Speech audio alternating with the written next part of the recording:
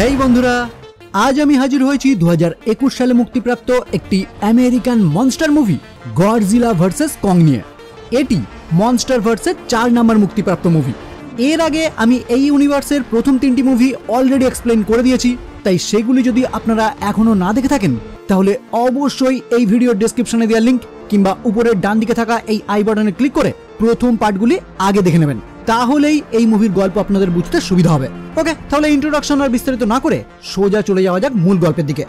শুরু করার আগে হেই আমি Raja and welcome to the Bongwood Godzilla king of the monster মুভির পাঁচ বছর পর থেকে শুরু হয় এই মুভির গল্প।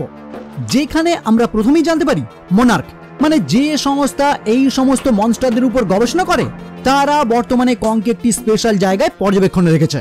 মানে মোনার্ক ওই স্কাল আইল্যান্ডকেই চারিদিক থেকে ঘিরে তাদের একটি বেস তৈরি করেছে, যার মধ্যেই বর্তমানে রয়েছে কং আর এখানে কংকে পর্যবেক্ষণ করার জন্য রয়েছেন একজন মহিলা বিশেষজ্ঞ ইলেন অ্যান্ড্রুজ যাই হোক, এই বেশের মধ্যে কং স্বাচ্ছন্দ্যে থাকলেও মাঝে মাঝে সে অ্যাগ্রেসিভ হয়ে ওঠে। কারণ দিন দিন সে ভালো মতোই বুঝতে পারছে, সে সম্পূর্ণ খোলা জায়গায় নেই, তাকে একটি বেশের মধ্যে আটকে রাখা হয়েছে। এখানে আমরা জিয়া নামক একটি বাচ্চা মেয়ের সঙ্গেও পরিচিত হই। যে কানে শুনতেও পায় না এবং কথাও বলতে পারে না। কিন্তু এখানে আমরা তাকে কং এর সঙ্গে ইশারায় কথা বলতে দেখি। আসলে কং দ্য স্কাল আইল্যান্ড মুভিতে আমরা এই জায়গায় যে আদিবাসীদের বসবাস করতে দেখেছিলাম, খুব সম্ভবত এই মেয়ে তাদেরই বংশধর। আর ওই আদিবাসী গোষ্ঠী দুর্ভাগ্যবশত এই আইল্যান্ডের একটি ঝড়ের কারণে পুরোপুরি ধ্বংস হয়ে গেছে। কিন্তু এখন এই মেয়েকে ইলনি তার নিজের মেয়ের মতোই লালন পালন করে। মানে এক প্রকার তার দত্তক মেয়ে বলা চলে। ওকে, তো এখান থেকে সিন শিফট হয়, আর আমরা পরিচিত হই এই মুভির এক মুখ্য চরিত্র, বার্নি হেইজের সঙ্গে, যে তার পার্সোনাল একটি পডকাস্ট চ্যানেল চালায়, যেখানে সে অ্যাপেক্স সাইবারনেটিক নামক একটি কোম্পানি সম্বন্ধে কিছু গোপন তথ্য সবার সামনে উন্মুক্ত করে। আসলে এই বার্নিও ওই অ্যাপেক্স সাইবারনেটিক্সের একজন প্রাক্তন কর্মচারী।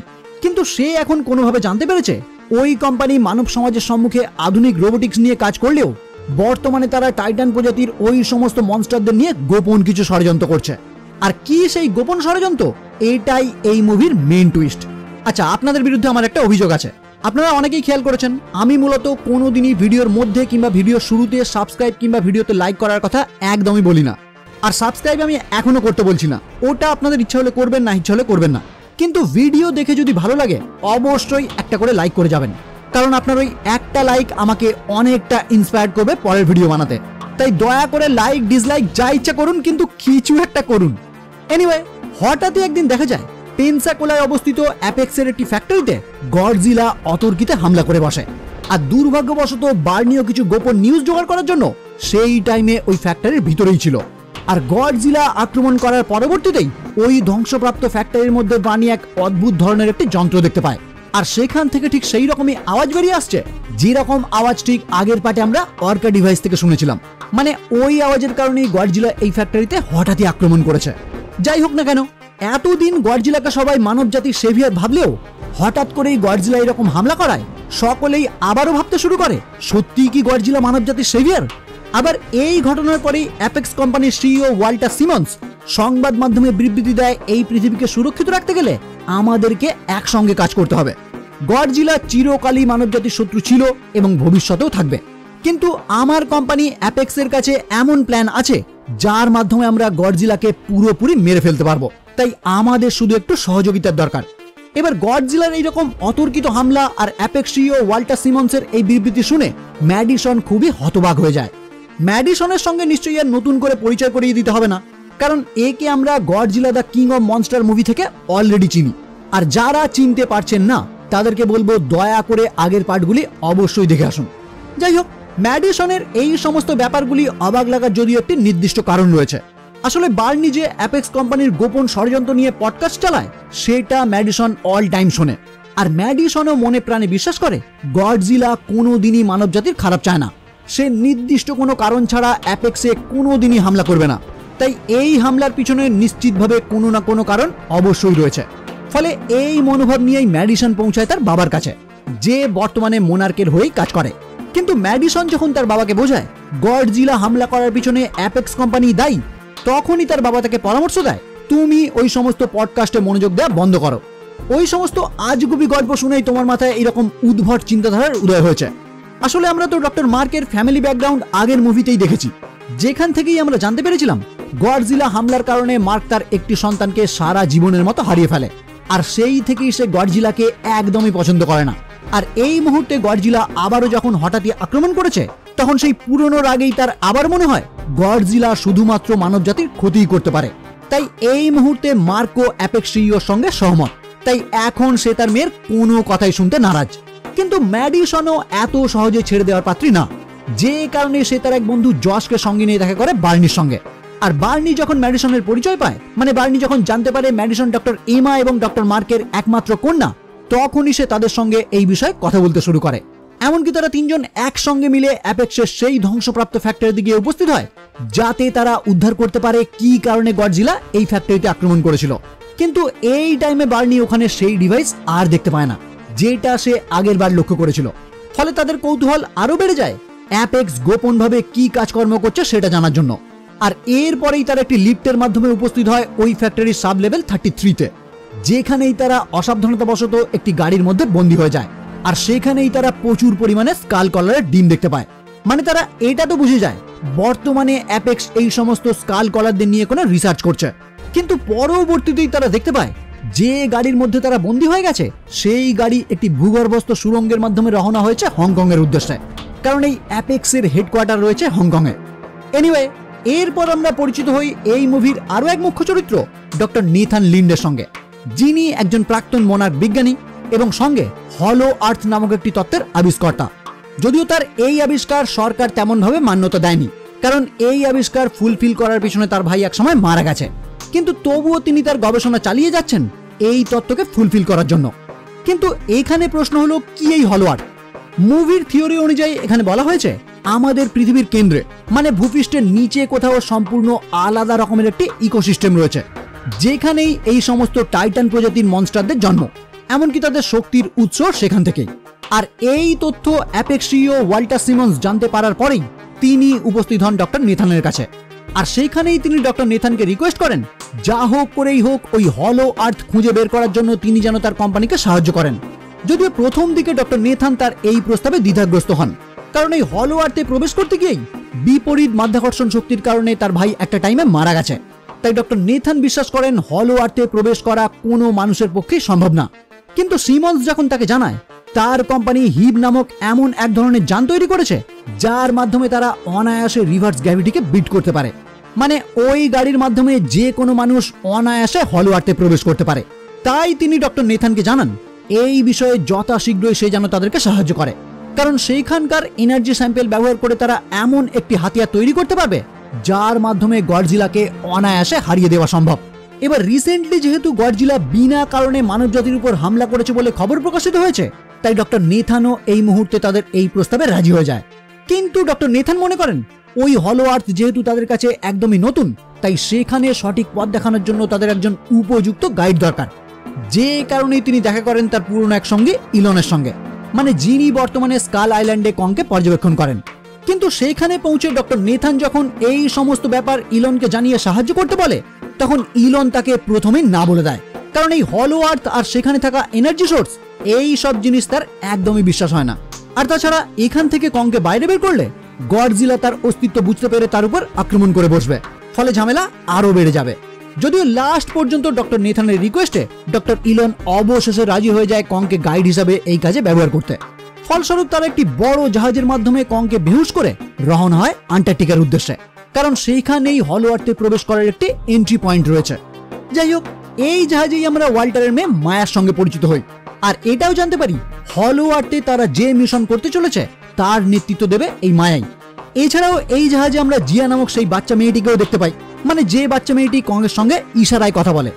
এমনকি এই জলপথে পাড়ি দেওয়ার টাইমে কংয়ের হুশ ফিরে এলে জিয়াই ইশারা করে তাকে শান্ত করে। আর তাদের এই ইশারা করে কথা বলতে দেখে জাহাজে উপস্থিত প্রত্যেকেই বেশ অবাক হয়ে যায়। কিন্তু প্রথম দিন সবকিছু ঠিকঠাক চললেও সমুদ্র যাত্রার মাঝপথে হঠাৎই তাদের উপর আক্রমণ করে বসে গডজিলা। এবার যেহেতু কং জলের ভিতর শ্বাস নিতে পারে না, তাই গডজিলার সঙ্গে ফাইট এসে সহজেই ঘায়ল হয়ে যায়। যেটা দেখে ডক্টর নেথানের কথা মতো সেখানে উপস্থিত সকল জাহাজের ইঞ্জিন অফ করে দেওয়া হয়, যাতে গডজিলা মনে করে তারা সকলেই তার কাছে হার মেনেছে। আর এখানে সত্যি সত্যি তাই ঘটে।